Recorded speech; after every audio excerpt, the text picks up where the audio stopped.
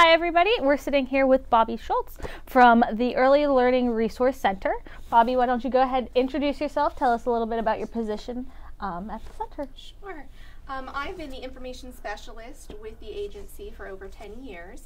Um, my job is um, multi. I will take application calls for any families that are looking for assistance. Anybody calling in that is looking for child care providers, I will handle all of those calls. Um, we cover four counties um, Fayette Greene, Washington, and Westmoreland. Okay. So I also will do all of those outreach events that if you would go to, you would see somebody with a vendor booth and giving out information. I handle all of that as well.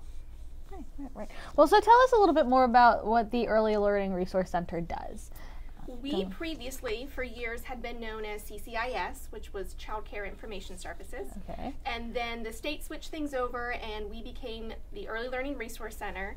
And we now cover the region, so that's why we cover the four counties now. Okay. Um, we do child care assistance for eligible families. We also help with providers. So the Keystone Stars program that had previously been overseen and kind of the people for contact were out of Pittsburgh has been moved to our office. So all of the providers now that have questions regarding the Keystone Stars program, ways to continue increasing the quality child care, they will call our office and speak with their quality coaches. Um, and we also have been working for many years with the communities that we service so that any of the other programs that are going on, they can call in to us. So if we get a phone call and somebody says, Grandpap fell and I'm not sure who I could contact, he's going to need assistance. Mm-hmm. We will pull up and say, okay, where do you live? What kind of assistance are you looking for? And we will connect them with those agencies. All right.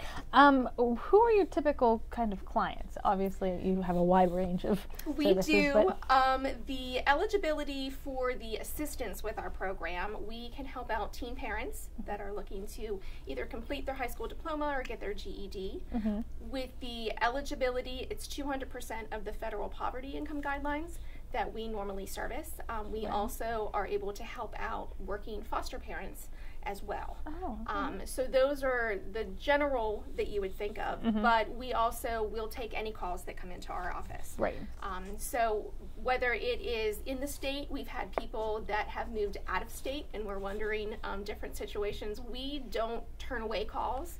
We will take those calls and find out who best to transfer them to. Right, right. Because a part of my question was going to be um, with these clients, how are, is there financial aid opportunities? Tell me a little bit more about the services versus what compensation is needed. Yes. So families that are eligible would have to be working a minimum of 20 hours a week.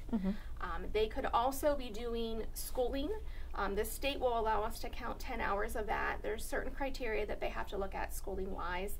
Um, you know, physical classes versus online, which right now, because of everything going on, that's Right. changing as well.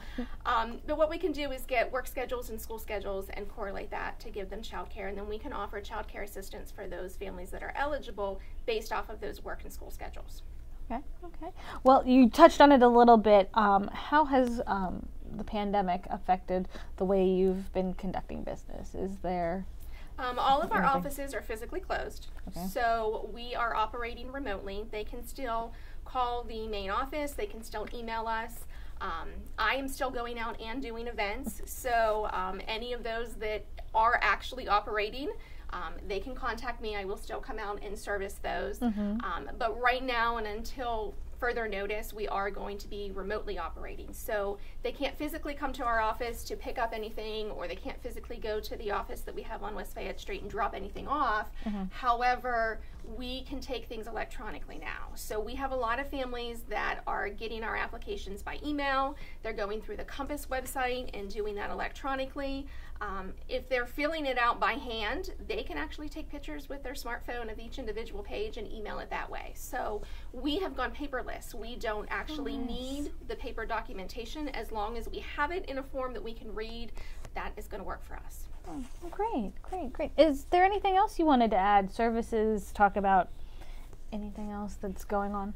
Um, I just think that for families, a lot of times when they hear that there might be assistance out there, they might have heard through different people that have come into our program different ways. And so they'll think, oh, well, I'm not eligible. And we always encourage families to just give us a call. Mm-hmm. Worst case scenario, we might not financially be able to help you, Right. but we also are aware of other programs in your area that might be able to assist you with things as well.